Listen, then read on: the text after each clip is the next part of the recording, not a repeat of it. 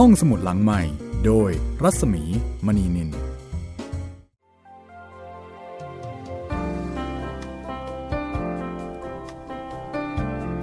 ตอนรับคุณฟังเข้าสู่ห้องสมุดหลังใหม่นะคะ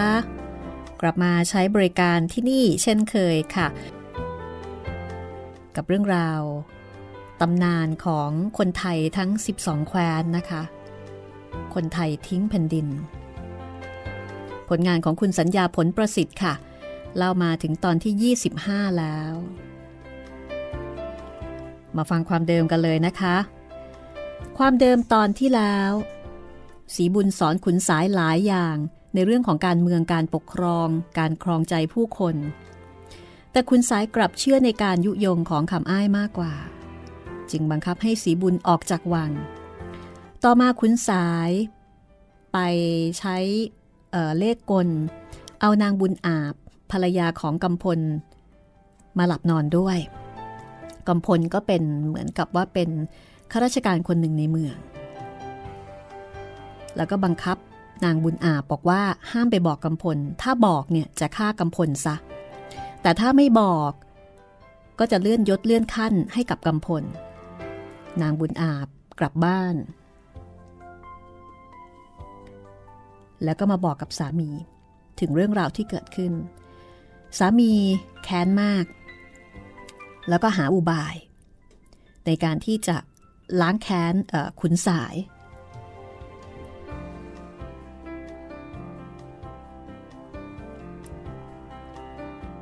กำพลก็เลยแกล้งทำตัวเป็นบ้าค่ะ ซ่องสุมผู้คนที่จะเล่นงานขุนสาย จนกระทั่งมาพบกับพันษา เพื่อนซึ่งเป็นหมอ พันษาจับได้ว่ากำพลไม่ได้บ้าจริง พันษาถามกำพลว่า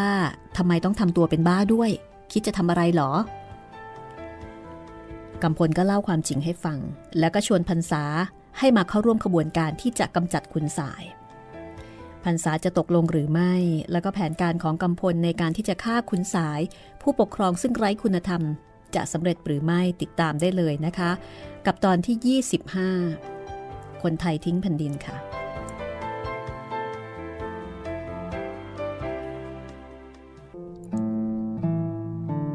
พันษากล่าวกับกำพลว่ากำพลเอ่ยที่สูกับสหายอื่นๆ คิดการดังนี้ข้าสรรเสริญนัก แต่การช่วยบ้านเมืองนั้น แล้วแต่ผู้ใดจะถนัดทางใดข้าเองสนใจทางอื่นอยู่ ซึ่งไม่ต้องใช้กำลังเข้าทำลายกัน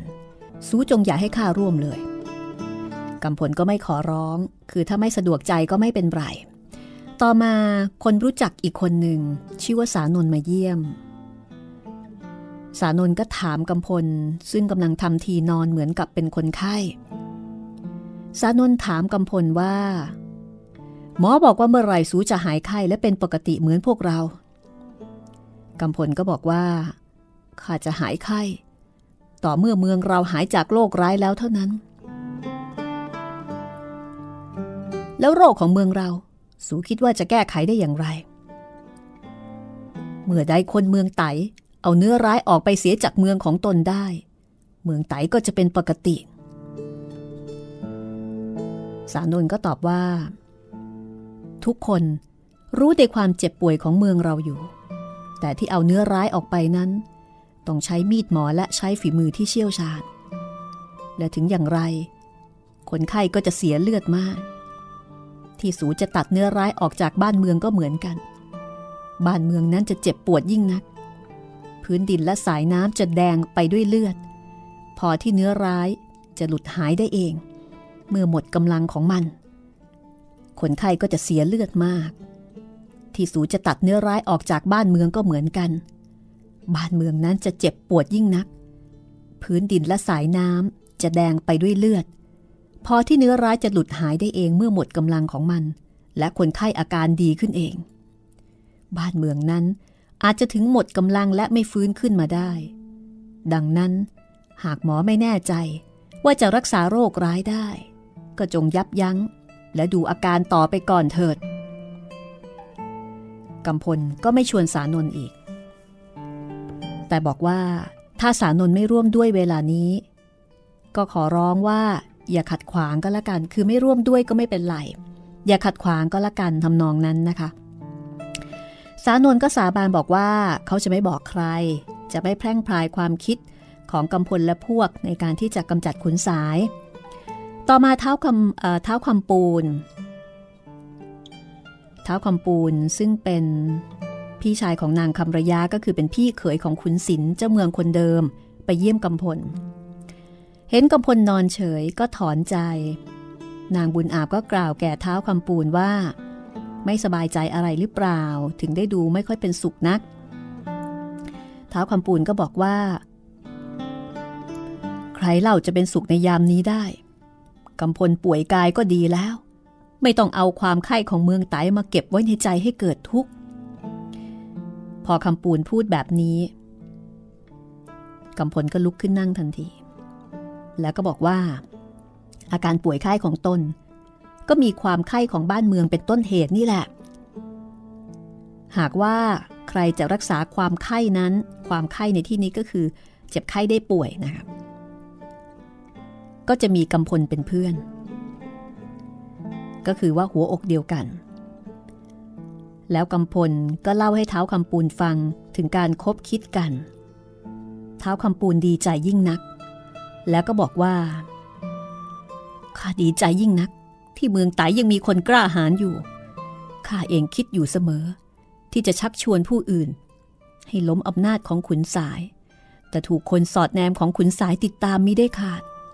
ใครจะไปหาข้าก็ไม่กล้าข้าจะไปบ้านผู้ใด ผู้นั้นก็จะถูกสงสัย และมีภัย เมื่อสูสามารถรวบรวมพวกได้ด้วยอุบายเช่นนี้ข้าจะขอร่วมด้วย ได้เท้าคำปูนเป็นพวกนะคะ ก็ถือได้ว่าได้พันธมิตรสำคัญอีกคนหนึ่งเลยทีเดียว ต่อมาผู้คบคิดกัน 15 คน ก็พากันไปชุมนุมในถ้ำนอกเมือง แล้วก็แต่งตั้งเท้าคำปูนเป็นหัวหน้า เท้าคำปูนก็บอกว่า แม้ว่า คนที่มาชุมนุมกันทั้งหมดนี้ จะมีพวกเป็นกำลังอยู่ แต่ถึงอย่างไรก็ยังไม่พอที่จะไปต่อสู้กับทหารจ้างของขุนสาย เพราะฉะนั้นควรจะได้กำลังจากเมืองซัมเมืองศาสตร์และเมืองภูมิเรียงท้าวคำปูนบอกว่าจะให้หลานคือเจ้าคำตันลูกของขุนศิลเขียนจดหมายถึงเจ้าเมืองทั้งสามให้ยกคนมาช่วย เพราะว่าสมัยที่ขุนศิลยังมีชีวิตอยู่นั้น เจ้าเมืองทั้งสามคือเมืองซัมเมืองศาสตร์เมืองภูมิเรียงเนี่ยก็พักดีต่อขุนศิลแล้วก็คงจะพักดีต่อบุตรของขุนศิลต่อไป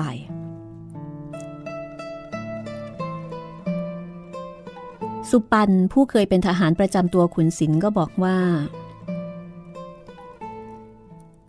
ตอนนี้คำตันถูกคุมตัวอยู่ หากคุณสายจับหนังสือหรือว่าจับจดหมายของคำตันได้ หรือถ้าเกิดคุณสายรู้ว่าคำตันเรียกทัพของหัวเมืองทั้งสามมาคำตันจะไม่เป็นอันตรายหรอคำปูนก็บอกว่า เจ้าคำตันเป็นหลานของข้าข้าก็รักมาก ไม่อยากให้ได้รับอันตราย แต่เจ้าคำตันจะต้องเป็นผู้ครองเมืองต่อไปในภายหน้า ดังนั้นเขาจะต้องทำหน้าที่ของเขาบ้าง เหตุผลนี้ก็ทำให้ทุกคนรู้สึกว่า ได้เลือกหัวหน้าที่ถูกต้องแล้ว แล้วก็ทำให้มีกำลังใจที่จะทำงานยิ่งขึ้นท้าคำปูนไปหาเจ้าคำตันในวัง แล้วก็เล่าถึงแผนการให้ทราบ แล้วก็ขอหนังสือจากเจ้าคำตัน พร้อมกับบอกว่า จดหมายของเจ้าคำตันเนี่ย จะช่วยให้ได้คนมาสมทบมากขึ้น ในการที่จะไปต่อสู้กับขุนสาย แต่ว่าเจ้าคำตันจะเขียนให้หรือไม่นั้นก็แล้วแต่การตัดสินใจ เจ้าคำตันก็บอกว่าข้าจะต้องเขียนให้แน่นอน มีใครอีกเล่าที่จะเดือดร้อนจากมือของขุนสายเหมือนเราแม่ลูก แล้วเจ้าคำตันก็เขียนหนังสือถึงเจ้าเมืองซัมเป็นความว่าข้าเจ้าคำตัน ขออวยพรมายังเท้าเกตเจ้าเมืองซัม ด้วยว่าเมื่อครั้งขุนศิลปีดาข้ายังมีชีวิตอยู่ สูกับบิดาข้าก็ได้พึ่งซึ่งกันและกัน เมื่อเมืองไตเป็นสุข เมืองซ้ำก็เป็นสุข เมืองไตเป็นทุกข์ เมืองซ้ำก็เป็นทุกข์ เมืองศาสตร์และเมืองภูมิเรียง ก็ผูกพันกับเมืองไตในทำนองนี้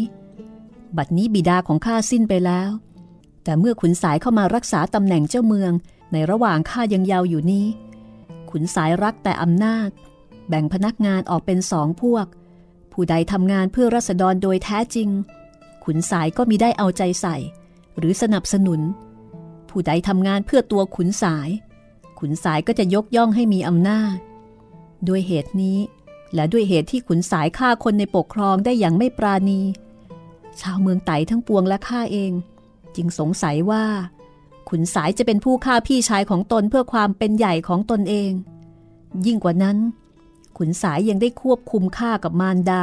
ให้อยู่แต่ภายในกำแพงวัง เหมือนจะเอาชีวิตเราแม่ลูกไว้เป็นประกันความปลอดภัยของตัวขุนสายเอง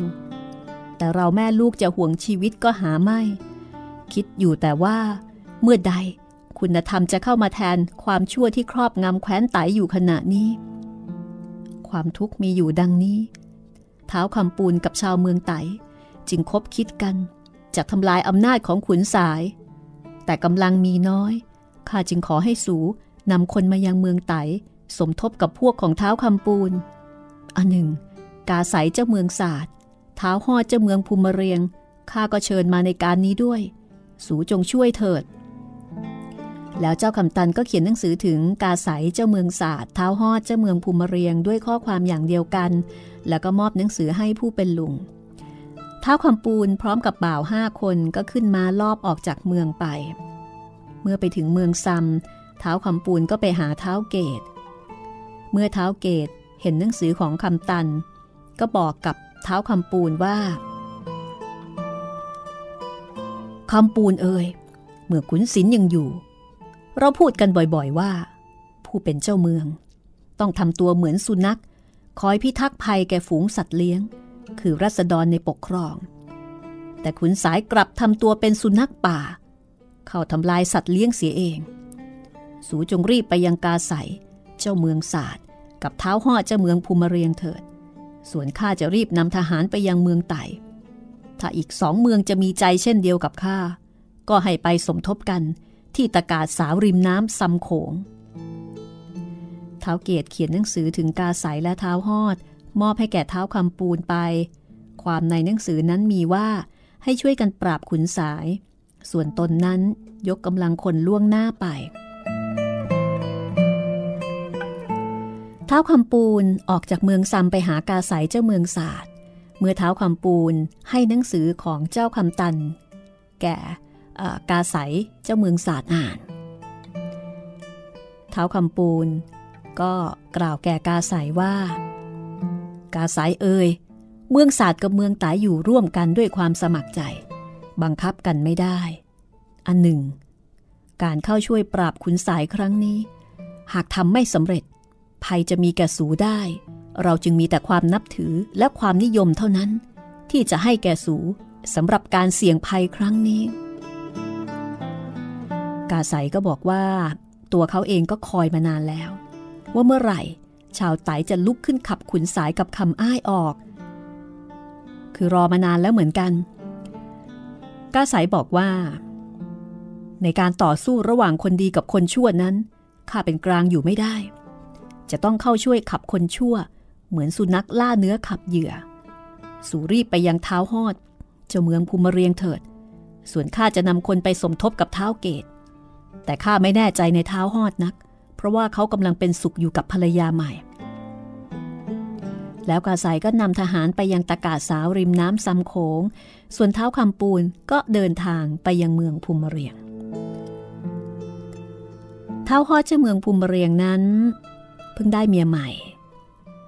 คือภรรยาคนเดิมตายไปเมื่อปีก่อน ก็ได้ภรรยาใหม่จากเมืองเชียงแสชื่อว่านางลำเผาเท้าฮอดหลงนางลำเผามาก เพราะว่านางคล่องแคล่วในการเจรจา มีฝีมือในการขับร้องและการเป่าขลุ่ยบิดามารดาของนางเป็นชาวเมง อาศัยอยู่ในกระท่อมนอกเมืองเมง มีอาชีพปลูกผักขาย เมื่อเล็กอยู่ นางช่วยบิดามารดาปลูกผักแล้วก็รดน้ำผักทุกวัน นางร้องเพลงไปแล้วก็รดน้ำผักไป นางร้องเพลงได้อย่างไม่เหน็ดเหนื่อย แล้วก็มีเสียงร้องที่ไพเราะมากต่อมามีคณะฟ้อนรำจากเมืองเชียงแสเข้ามาแสดงในงานฉลองเมืองเมง เมื่อคณะฟ้อนรำผ่านไร่ผักของบิดานางลำเผาหัวหน้าคณะได้ยินเสียงนางร้องเพลงก็เข้าไปดู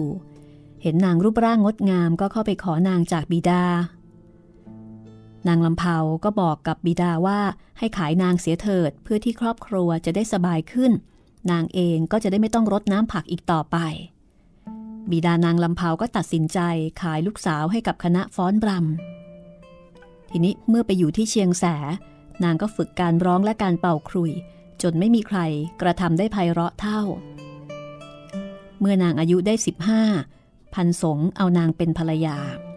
แล้วก็เอานางไปร้องเพลงในบ้านของคนมีตังบ่อยๆ ต่อมานางลำเพาเปลี่ยนสามีไปได้กับน้ำเงินซึ่งเป็นพ่อค้าขายม้าของเชียงแส และนางก็ช่วยให้น้ำเงินร่ำรวยขึ้นมากจากการติดต่อของนางกับผู้อื่น ทั้งด้วยสติปัญญาของนางและด้วยตัวของนาง เมื่อน้ำเงินจะติดต่อกับลำพูนเจ้าเมืองเชียงแส นางก็จะไปแทน แล้วก็พยายามให้ลำพูนพอใจในตัวนาง เมื่อนางบุญชวี เห็นนางมาทำตัวทอดสนิทกับสามีของตน นางบุญชวีก็เตือนมิให้นางเข้าไปหาลำพูนอีก แต่นางลำเพาก็ขืนไปหาลำพูนอีก นางบุญชวีก็เลยเอาคันธนูไล่นางออกมา นางหัวเราะแล้วก็กล่าวแก่นางบุญชวีว่า สักวันหนึ่ง เราจะได้รู้ว่า ธนูของสูกับเสียงของข้าอะไรจะดีกว่ากัน แต่ตั้งแต่นั้นมานางก็ไม่ได้ไปติดต่องานกับลำพูนอีกเลย และนางไม่อยากจะเป็นภรรยาของนายวานิชอีกต่อไป เมื่อเท้าหอดมายืนเมืองเชียงแสน้ำเงินต้องการจะขายม้าจำนวนมากแก่เท้าหอด ก็เชิญเท้าหอดมากินเลี้ยง นางลำเผาก็มาร่วมวงด้วย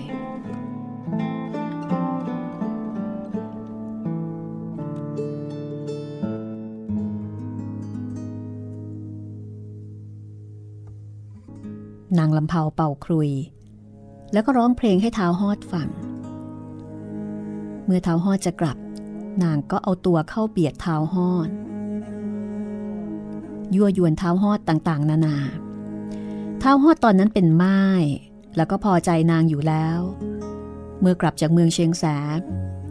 จึงซื้อม้าของน้ำเงินไปมาก แต่ภรรยาของน้ำเงินหายไปด้วย ต่อมาปรากฏว่าท้าฮอดได้ภรรยาใหม่ ซึ่งมีฝีมือในการร้องเพลงและเป่าครุยเป็นเอก สามารถเจรจาความเมืองแทนท้าฮอดได้นางนั้นชื่อลำเผา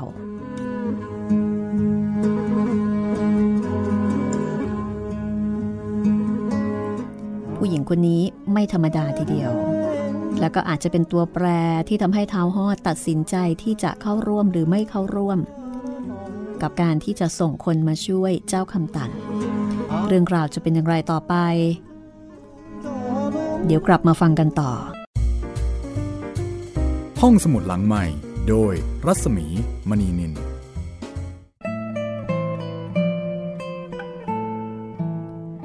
มื่อเท้าคำปูนเข้าไปพบเท้าฮอด ปรากฏว่านางลำเผาก็ออกมาเจรจาด้วย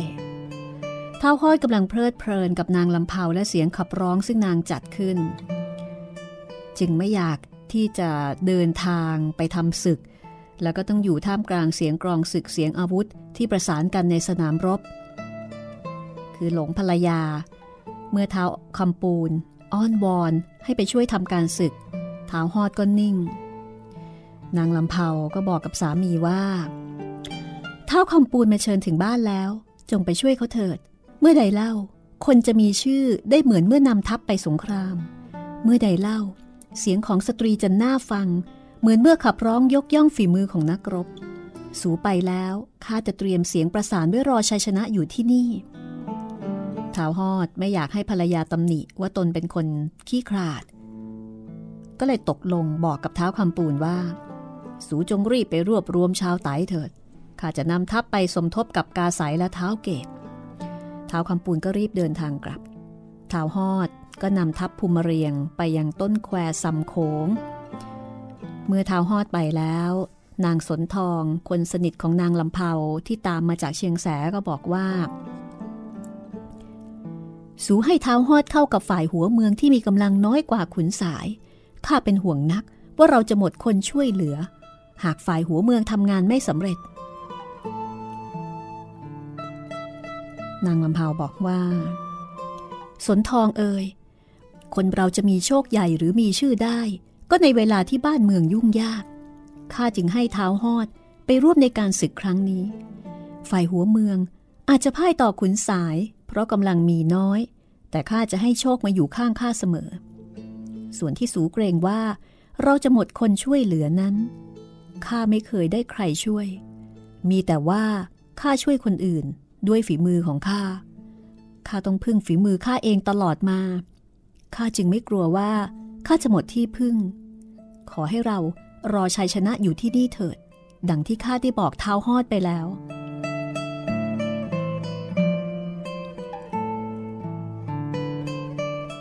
ด้วยเหตุนี้ เท้าหอดจึงกลายเป็นส่วนหนึ่งของกองทัพที่จะยกไปสมทบ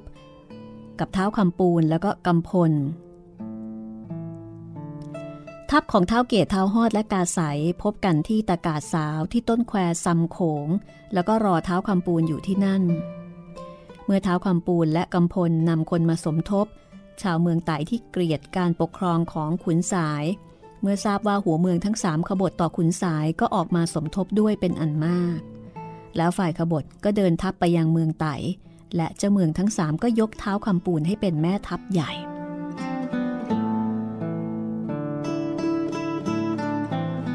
ขุนสายเมื่อทราบว่ามีทัพของหัวเมือง แล้วก็ทัพของเท้าคำปูนยกมา ก็เรียกคำอ้ายมาถามว่าการศึกครั้งนี้จะแก้ไขอย่างไรจึงจะกำจัดฝ่ายขบฏเสียได้คำอ้ายก็แนะนำว่า ถ้าจะรอให้ทัพหัวเมืองเข้าถึงชานเมือง คนเมืองไตก็อาจจะมองว่าขุนสายเนี่ยอ่อนแอ แล้วก็จะไปสมทบกับฝ่ายขบฏอีกคำอ้ายก็แนะนำว่า สู้กับข้าควรยกกำลังไปปราบเสียโดยเร็ว อย่าท่านให้ข้าศึกรวมกำลังได้มากขึ้น ขุนสายจึงกล่าวว่า หากเราทิ้งเมืองไป ก็เสมือนทิ้งถ้ำไว้ล่อใจเสือ คนใดที่เป็นศัตรูแก่เรา ก็อาจจะยึดเมืองไว้เป็นของตน แต่คำอ้ายบอกว่าจะมีใครที่มีปัญญาได้ถึงขนาดนั้น เพราะว่าคนที่มีฝีมือที่เป็นศัตรู อย่างเช่นเท้าคำปูนและกำพล ก็ไปตั้งธงขบฏอยู่กับทัพของหัวเมืองทั้งสามแล้ว อันตรายของเราจะมีก็จากเสือแม่ลูกที่อยู่ในวังนี้ ด้วยว่าชาวเมืองไตยังฝักใฝ่อยู่กับสองคนนี้ และที่เกิดขบฏขึ้น เพราะเท้าคำปูนถืออำนาจของเจ้าคำตัน ไปสั่งให้เจ้าเมืองทั้งสามยกทัพมา สูจงกำจัดแม่ลูกสองคนนี้ซะ และนั่นแหละอำนาจของสูก็จะเหนือคนทั้งปวงสำหรับการรักษาเมือง สูอาจจะตั้งคนโง่สักคนหนึ่งให้รักษาไว้ ด้วยวิธีนี้ เมืองไต้ก็จะอยู่รอสูจนกว่าสูจะกลับมา ขุนสายเห็นด้วยอยู่แล้วคำอ้ายแนะนำอย่างไรก็เห็นด้วย ให้ทหารไปคุมตัวนางคำระยะกับเจ้าคำตันไว้ ในคืนนั้น ขุนสายให้ทหารเอาธนูกับยาพิษ ไปมอบแก่มารดาและบุตร นางคำระยะเห็นเช่นนั้นก็ร้องไห้ เจ้าคำตันก็บอกว่า สูเป็นภรรยาของขุนศิลและเป็นมารดาของข้าฉะนั้นจึงอ่อนแอความตายนั้น ใกล้กับครอบครัวของเจ้าเมืองอยู่เสมอ และความตายครั้งนี้ จะช่วยให้เราพ้นจากความหยาบช้าของขุนสาย สูจงดีใจเถิด อย่าได้ร้องไห้ นางคำระยาได้สติแล้วก็กล่าวแก่บุตรว่าคำตันเอ๋ยให้ข้าดื่มยาพิษตายก่อนลูกเถิดข้าเห็นลูกตายต่อหน้าไม่ได้ และนางคำระยะ ก็ดื่มยาพิษไปถ้วยหนึ่ง ในไม่ช้าก็นิ่งไป เจ้าคำตันไม่แน่ใจว่ามารดาตายไปแล้ว ก็นิ่งรออยู่ คนคุมก็บอกว่า สูจะต้องตายอยู่แล้ว จะช้าอยู่ใหญ่ หรือจะให้ข้าใช้สายธนูรัดคอ สูจงคอยสักครู่เถิด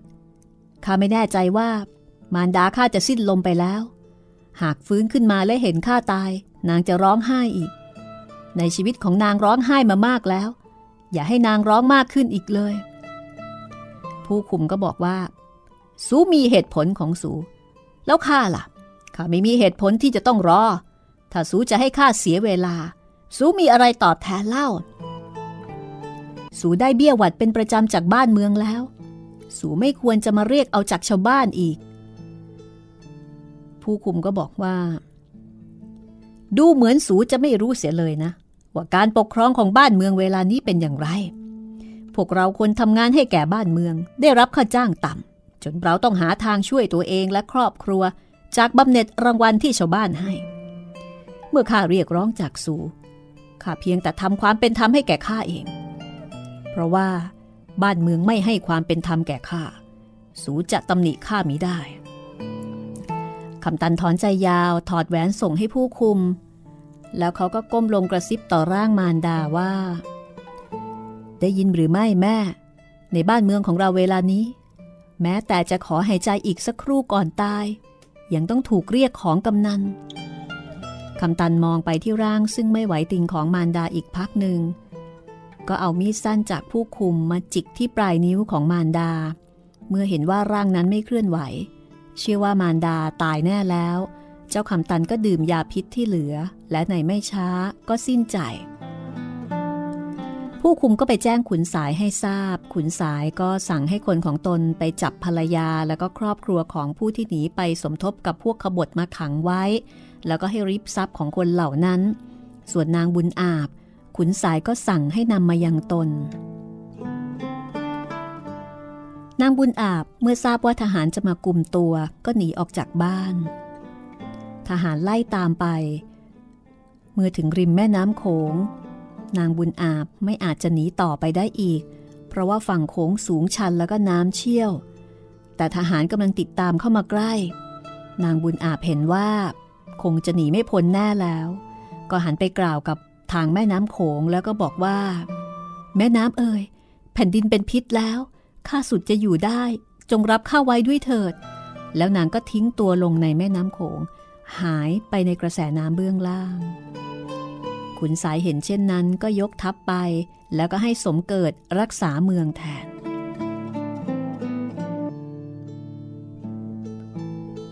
ทัพสองฝ่ายมาพบกันที่หมู่บ้านตองสา ซึ่งชาวบ้านมีอาชีพทำนา แต่ว่าทุ่งนาแถบนั้นดินไม่ดี ทำนาไม่ได้ผล ทัพทั้งสองรบกันณที่นั้นเป็นเวลาสามวัน ทหารทั้งสองฝ่าย กลายเป็นศพไปเป็นอันมาก แล้วทั้งสองฝ่ายก็ตั้งทัพยันเงินอยู่ ต่อมาฝ่ายทัพของขุนสายขาดแคลนน้ำจึงถอยทัพไป ทัพฝ่ายหัวเมืองก็ติดตามไป ทั้งสองฝ่ายทิ้งศพทหารไว้ทั้งหมด 6,000 คน ในปีนั้นและปีต่อมา ชาวเงี้ยวแห่งบ้านตองสาทำนาได้ข้าวมากมาย จากเลือดเนื้อและไขมันของศพนักรบ ส่วนกระดูกนั้นกีดขวางการไถ ชาวบ้านจึงเก็บมาสุมเป็นกองใหญ่ และเรียกกองกระดูกนั้นว่ากองนักสู้ เมื่อคุณสายเคลื่อนทัพมาถึงริมแม่น้ำโขงก็ให้ทหารข้ามไป และสั่งให้ตั้งค่ายอยู่ริมน้ำและบนเชิงเขาเป็นสองแนว ท้าคำปูน เมื่อมาถึง เห็นฝ่ายข้าศึกตั้งค่ายอยู่ ก็สั่งให้ฝ่ายตนตั้งค่ายบ้าง แต่เท้าหอดคิดถึงนางลำเพาอยากจะให้เสร็จการศึกโดยเร็ว เมื่อเห็นว่าฝ่ายขุนสายเคลื่อนทัพหนีเท้าหอดเข้าใจว่ากำลังของฝ่ายขุนสายอ่อนกว่า ก็บอกแก่เท้าคำปูนว่าข้าศึกกำลังหนีแล้วก็เสียขวัญ ควรที่จะต้องรีบเข้าไปโจมตีทำไมถึงให้ทหารมาหยุดอยู่ที่นี่ คือตีตีไปซะ จะได้จบจบไป เท้าคำปูนก็บอกว่า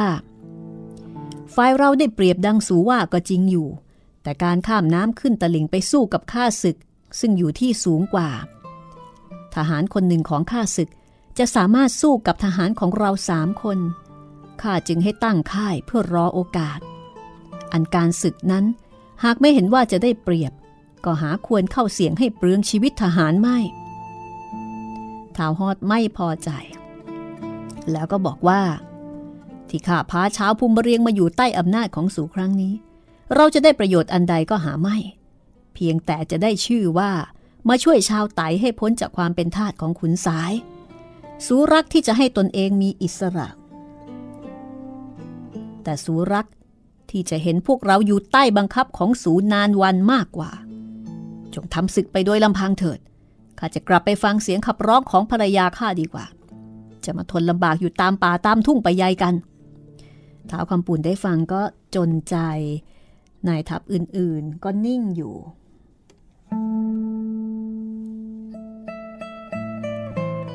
คือถ้าขาดกำลังจับภูมิเรียงแล้ว ก็คงยากที่จะชนะขุนสายได้ ในส่วนของกำพลนั้น ก็มีคนส่งข่าวว่านางบุญอาบเนี่ยกระโดดน้ำตายซะแล้วเพื่อหนีอำนาจของขุนสายกำพลก็ยิ่งแค้นขุนสายหนักขึ้น กล่าวแก่เท้าคำปูนว่า ที่เท้าคำปูนเป็นห่วงชีวิตทหารนั้น ก็สมควรแก่หน้าที่ของแม่ทัพใหญ่ ส่วนหน้าที่ของเราคือการฟังคำสั่งของแม่ทัพ แต่เราที่อยู่ใต้บังคับบัญชาหากลัวความตายไม่ หากเราชนะศึกได้เร็ว ชาวไตก็จะเป็นอิสระได้เร็ว หากเราต้องเสียชีวิตเราก็ได้ทำหน้าที่ของเราแล้ว และชีวิตของเราก็จะพ้นความเป็นทาสของขุนสาย ดังนั้นในการรบครั้งนี้เราไม่มีอะไรที่จะต้องเสีย แต่ถ้าเราล่าช้าไป ความเดือดร้อนก็จะมีแก่ผู้บำรุงกองทัพรัษฎรจะต้องส่งสเสบียงอาหารให้เราเพิ่มขึ้น ความไม่พอใจจะเกิดขึ้นแก่รัษฎรของเมืองซัม เมืองศาสตร์และเมืองภูมิมเรียง เหตุนี้ข้าจึงว่าควรยกข้ามน้ำไปสู้กับข้าศึกข้าเองจะอาสาออกหน้าทหารทั้งปวง ในกองทั้งปวงก็โห่ร้องดีใจ เท้าคำปูนก็สั่งให้ทหารรุกข้ามลำน้ำไปกำพลนั้น มือซ้ายถือโล่หนัง มือขวาถือหอก แล้วก็มีมีดดาบคาดไหล ออกนำหน้าทหาร เมื่อถึงริมน้ำกำพลก็เอ่ยขึ้นว่า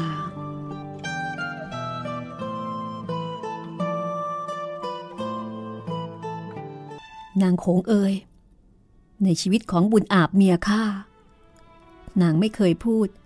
หรือทำอะไรให้กระเทือนผู้อื่นแม้แต่น้อย แต่ขุนสายยังทำลายนางได้ บัดนี้ขุนสายอยู่ข้างหน้าโน้น ข้าขอข้ามสูไปแก้แค้นให้แก่นาง หากไม่สำเร็จข้าจะไม่ข้ามมาอีก แล้วกำพลก็ลุยน้ำนำหน้าทหารไป ฝ่ายทัพของขุนสายเห็นข้าศึกข้ามาก็ระดมยิงธนูขวาง ทหารฝ่ายหัวเมืองที่ตายและบาดเจ็บไปก็ไม่น้อยลำน้ำโขงณที่นั้นมีเนินทรายอยู่กลางน้ำ เมื่อทหารฝ่ายหัวเมืองถึงเนินทรายพลธนูก็พากันประดมยิงไปยังฝ่ายขุนสายบ้าง แล้วทัพราบเบา และราบหนักทางฝ่ายเท้าคำปูนก็รุกต่อไป เพื่อประจันบานกับข้าศึก ฝ่ายเท้าฮอดเมื่อนำทหารไปถึงเนินทรายกลางน้ำโลของเท้าฮอดถูกธนูหกลูกเท้าวฮอดรู้สึกว่ากำลังของลูกธนูฝ่ายข้าศึกแรง ก็เกิดความกลัว บอกกับนายกองว่าให้นำทหารล่วงหน้าไป ตนจะหยุดบวงสวงนางโขงอยู่ที่นี่ก่อน เพื่อขอให้นางโขงช่วยให้เป็นฝ่ายมีชัย แล้วเท้าฮอดก็หยุดเพื่อบนบานอยู่ที่เนินสายนั้น คือเรียกนางโขง แม่น้ำโขงว่านางโขง แล้วก็ให้ทหารของตนในล่วงหน้าไป ฝ่ายทัพหัวเมือง เมื่อรุกไปถึงตลิ่งริมน้ำก็ถูกทหารของขุนสาย พุ่งหอกซัดมาดุดหาฝน เมื่อแนวแรก พุ่งหอกของตนแล้ว ก็ถอยกลับไป แล้วแนวที่สองก็วิ่งเข้ามาอีก พุ่งหอกซัดของตนไปยังทหารฝ่ายหัวเมืองอีก ซึ่งขณะนั้นกำลังลุยน้ำอยู่ ทหารราบเบาของขุนสาย พุ่งหอกเป็นระลอกดังนี้ แต่ทหารฝ่ายหัวเมืองมีได้ย่อท้อ บางคนร้องบอกข้าศึกซึ่งเป็นคนไทยด้วยกัน ให้พุ่งหอกมาเพิ่มเติมอีก บางคนที่ถูกหอกก็ลอยตามน้ำไป ส่วนกำพลนั้น เห็นขุนสายยืนม้าอยู่บนฝั่งก็แค้นใจ ร้องเร่งทหารให้ตามไป โลของกำพล ถูกหอกซัดปักเต็ม และเมื่อขึ้นถึงตลิ่งกำพลก็โยนโล่ทิ้ง แล้วนำทหารวิ่งขึ้นไปบนฝั่ง ฝ่ายขุนสายเมื่อเห็นดังนั้น ก็ให้ทหารราบหนัก ซึ่งใช้หอกยาว เดินเรียงรายเข้ามายันฝ่ายหัวเมืองไว้ กาสายจะเมืองศาสตร์ เห็นทหารของขุนสายเดินมาเป็นขบวนแน่นหนาเป็นระเบียบ ระยะของทหารแต่ละคนห่างกัน พอให้ทหารแนวหลังเข้ามาเป็นแนวหน้าได้สะดวก และแนวหน้ากลับเป็นแนวหลังได้ ในเมื่อต้องการเช่นนั้น คนใดในแนวหน้าเสียทีแก่ข้าศึก คนในแนวหลังก็จะเข้าแทนได้ทันที กาสายตกตะลึงร้องบอกแก่กำพลว่ากำพลเอ่ยข้าไม่เคยเห็นขบวนยุทธแบบนี้เลย ดูแล้ว เหมือนแผ่นดินเคลื่อนเข้ามาไล่ให้เราหนีไป หากไม่หนีก็เสมือนว่าเราจะต้องเข้าผจญกับแผ่นหิน ซึ่งดาบหรือหอกของเราไม่อาจจะแซะให้แตกได้ สูคิดหรือว่าความกล้าของเราจะสู้กับขบวนทัพแบบนี้ได้กำพลจะตอบว่าอย่างไร ติดตามได้ตอนต่อไปตอนที่ 26 คนไทยทิ้งแผ่นดิน ขอบคุณเพลงประกอบจากภาพยนตร์ คนไทยทิ้งแผ่นดินของกันตนา ขอบคุณเพลงประกอบตอนบรรเลงเล่าเรื่อง จากอัลบั้มซิลแอนแบมบูของคุณฮักกี้ไอเคิลแมนขอบคุณคุณผู้ฟังที่ติดตามรับฟังนะคะ พบกันใหม่ตอนหน้า สวัสดีค่ะ ห้องสมุดหลังใหม่ โดยรัศมีมณีนิน